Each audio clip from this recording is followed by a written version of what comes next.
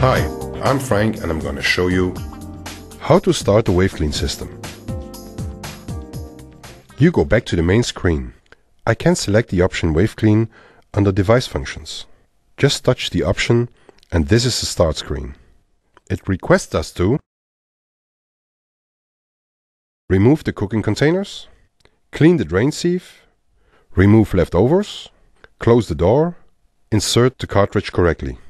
This is the 2-in-1 cartridge we need for cleaning. Before inserting the cartridge, we have to remove the cover. After opening the door, we just put the cartridge in the special ring on the left side of the oven chamber.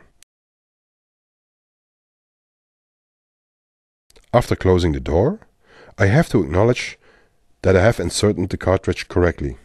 And now the Wave Clean program starts automatically. You can see that we have a total cleaning time of 3 hours and 2 minutes left. When the program ends, the Magic Pilot asks me to remove the empty cartridge.